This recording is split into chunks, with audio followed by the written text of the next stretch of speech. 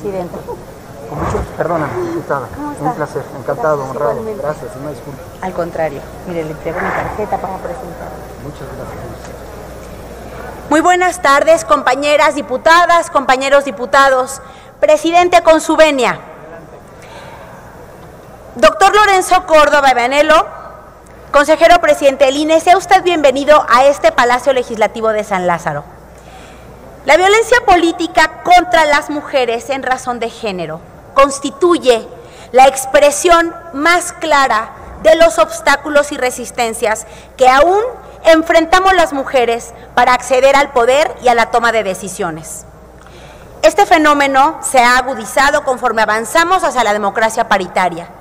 Es en la violencia política donde se conjuntan todas las formas de violencia contra las mujeres. Violencia verbal, violencia psicológica, violencia económica, violencia simbólica, violencia sexual, violencia institucional, violencia cibernética y violencia física. Todas estas formas de violencia podemos padecerlas las mujeres, una o todas en la violencia política en razón de género. Tras las reformas de 2020 en esta materia, muchos son los esfuerzos que deben de ponerse en marcha para prevenir, atender, sancionar y reparar esta modalidad de violencia contra las mujeres por parte de las instituciones. Si bien es cierto en el Congreso de la Unión, en el proceso electoral del 2018 fue el 48.2% del porcentaje de las diputaciones federales para mujeres. En 2021 tenemos el 50% de las mujeres en la Cámara. En el Senado de la República está conformado por el 49.22% de las mujeres y el 50.78% de hombres, lo que representa históricamente el porcentaje más alto de mujeres en nuestro país. A pesar de estos avances mencionados, los partidos políticos, ojo, señor presidente, todos los partidos políticos siguen siendo y siguen representando en muchos casos el principal obstáculo para el avance de las mujeres en la esfera pública y los órganos electorales, aún cuando no logran fortalecer sus capacidades para hacer frente a la violencia política desde una perspectiva de género y derechos humanos. Entonces estamos las mujeres frente a dos aguas. Primero, pelear dentro de nuestros partidos políticos por ser reconocidas por nuestra trayectoria política en nuestros institutos. Y por otro lado, las instituciones que no salvaguardan nuestros derechos políticos ciudadanos desde una perspectiva de género. Mientras que gran parte de la labor de defensa de los casos de la violencia política hacia las mujeres han recaído en las organizaciones de la sociedad civil, esta es bajo condiciones de mucha precariedad y aquí voy a hacer mi pregunta. Siendo la violencia política contra las mujeres una problemática creciente en el país, ¿por qué en el Registro Nacional de Personas Sancionadas a cargo del INE solo aparecen 111 en esta situación? ¿A qué se lo podría usted atribuir? Y la otra, y muy importante, ¿cuál es su postura y opinión institucional Concluya, del diputada, INE? por favor. Concluyo, presidente. Sobre la necesidad de creación de una defensoría pública especializada en materia de derechos políticos de las mujeres, dado la precariedad que las mujeres tienen para poder llevar a cabo sus defensas en esta materia. Muchas gracias. Gracias, diputada. Tiene ahora la palabra el consejero presidente Lorenzo Córdoba para responder hasta por cinco minutos.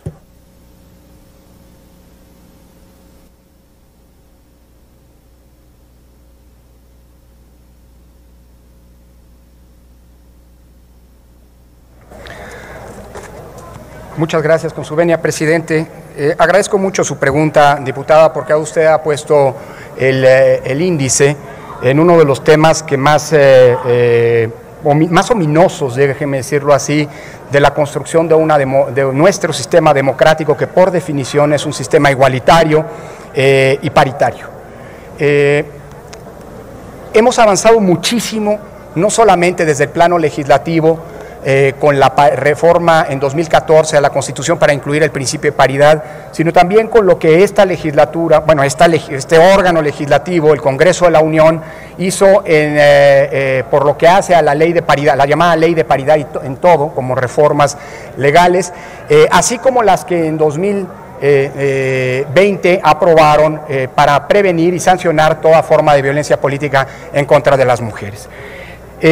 Esto se ha eh, eh, aparejado de una serie de medidas afirmativas que son las que han permitido, por cierto, que esta sea la primera legislatura paritaria en términos absolutos, no en términos 250 mujeres, 250 hombres, y aprovecho aquí solamente para decir que también es la legislatura más incluyente, porque gracias a las acciones afirmativas que se tomaron desde el INE, eh, hoy hay 36 eh, eh, personas, mujeres y hombres indígenas en esta legislatura, gracias, quiero subrayarlo, a una iniciativa que en 2018 el Consejo General apoyó a propuesta de un servidor. Eh, es una legislatura en la que hay ocho personas con algún tipo de discapacidad seis personas afromexicanas, cuatro personas de algún colectivo de la diversidad sexual y once migrantes, como ya aquí en esta tribuna se ha mencionado. 65 personas pertenecen a alguna de las comunidades discriminadas eh, eh, históricamente y gracias a las acciones afirmativas hoy tienen presencia en este, en este Congreso. El problema, y esto es lo más grave, eh, y creo que es pertinente su pregunta en ese sentido, es que conforme hemos avanzado en términos de paridad, a lo largo de la historia, primero cuotas, acciones afirmativas paulatinas, hasta llegar a la paridad, hoy en día, esa es la gran y triste paradoja, las formas de violencia política contra las mujeres se han multiplicado. Es decir, a más participación política de las mujeres, más violencia en contra de ellas.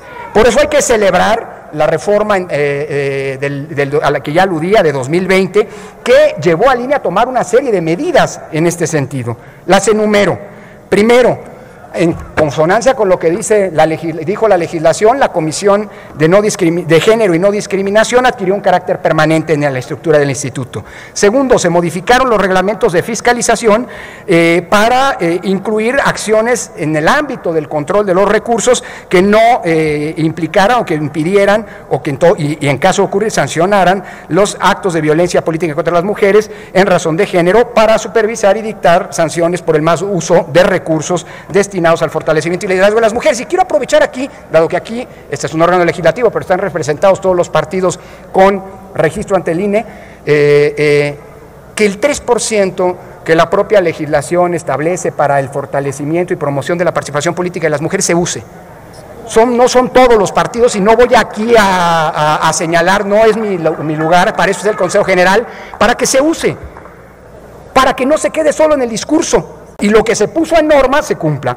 Dicho eso, hicimos una modificación al reglamento de, eh, en, materia de radio y televisión para que en el, monitoreo se incluyera una metodología para eh, que el monitoreo que realizamos se hiciera con perspectiva de género.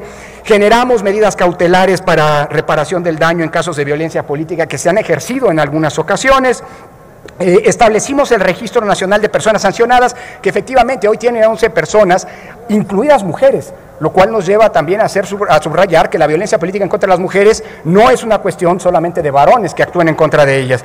Y finalmente establecimos una norma que llamamos 3 de 3 en contra de la violencia, que implicaba un compromiso bajo protesta de decir verdad, Luego el tribunal dijo que esto era una cuestión solamente formal, pero esa es otra historia, eh, eh, para que, eh, mediante la cual, y eso lo firmaron todas y todos ustedes, por cierto, mediante el cual declararon bajo protesta de decir verdad que no habían cometido, que no habían sido condenados por algún acto de violencia en contra de las mujeres, que no habían cometido violencia intrafamiliar y que no eran deudores alimentarios morosos. Dicho eso, hay mucho todavía por hacer y creo que tenemos que hacer un balance, un corte de caja, la mejor disposición de hacerlo conjuntamente con el legislativo, porque en esta materia hay que ir avanzando, sí desde el punto de vista normativo, pero sobre todo desde el punto de vista concreto. Hoy lamentablemente todos estos elementos de discriminación se conjuntan en una lógica que debo decirlo así, lastima la democracia. Ser mujer, ser pobre, ser indígena, ser niña, eh, eh, entre otras, ser afromexicana, por ejemplo, tiene, son, son todas factores de discriminación que se acumulan y merman el ejercicio pleno de los derechos. Muchas gracias. Tiene ahora el uso de la palabra la diputada Mirza Flores Gómez de Movimiento Ciudadano para réplica hasta por tres minutos.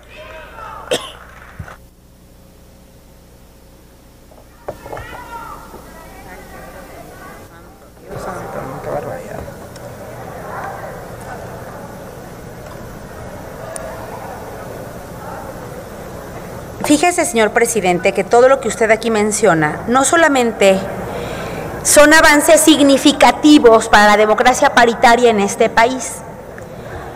Sí, sí lo son. El problema es cómo nos encontramos las mujeres de todos los partidos cuando estamos en la calle o cuando estamos frente a las dirigencias de los partidos. A ver, desde los más locales, ¿eh? o sea, no vamos a decir eh, eh, en las grandes capitales, hay mujeres de todos los partidos que se encuentran con las dirigencias de sus partidos en un municipio que las violentan, que las maltratan, que las maltratan, las invisibilizan, pero son mujeres que no tienen recursos para poder llevar a cabo procesos especiales sancionadores en donde se les haga justicia. No importa lo que diga la ley. Una vez que está establecido en la ley y que queda aprobado en el INE, claro, es un significativo avance. El problema es que se convierte en poesía cuando una mujer no tiene acceso a una defensoría apropiada. Por eso mi pregunta era, ¿qué opina usted que hubiera una defensoría pública donde las mujeres pudieran acceder a una justicia gratuita y que entonces pudieran denunciar la violencia política en razón de género? ¿Por qué tengo que apelar a la opinión institucional respecto de una eh, defensoría pública? Bueno, porque lamentablemente a pesar de estos avances mencionados, gran parte de la labor de defensa en los casos de violencia política contra las mujeres han recaído en organizaciones de la sociedad civil organizada de mujeres. Lamentablemente, estas mujeres de sociedad civil organizada, que cada vez tienen menos recursos porque el gobierno federal les ha recortado los recursos a las organizaciones civiles, estas mujeres no se encuentran en condiciones muy precarias para defender a las mujeres víctimas de violencia. Por eso, por eso se lo menciono, porque entonces, ¿en dónde tendría que recaer una defensoría? Por parte del INE, por parte de los, de los OPLES, estos son los organismos locales, en la Fiscalía Especializada de Delitos Electorales, donde podemos tener las mujeres la garantía de ser protegidas y de ser cuidadas por esa ley y por esos reglamentos que se aprobaron en el INE. Que dejen de ser poesía, que dejen de ser versos, que se conviertan en acciones sustantivas para que entonces sí tengamos las mujeres de todos los partidos en todo el país garantizados nuestros derechos ciudadanos y políticos electorales. Yo con esto voy a concluir, me quedan 13 segundos y voy a hacer honor a las mujeres que han sido víctimas de violencia política en razón de género y navegando contracorriente tratando de hacer justicia. Ruperta Nicolás Hilario y Nilatenco Guerrero. Alma Rosa Barragán Santiago que perdió la vida lamentablemente en Moroleón, Guanajuato. Citlala Maya en Tlaquepaque, Jalisco que le anula una elección por una irracionalidad. Felicitas Muñiz Gómez, Rosa Pérez de, de Chenaló, Chiapas y, de, y, Felicitas de Mártir Culepán Guerrero. Es cuanto, compañeras, por favor, respetémonos. Es cuanto.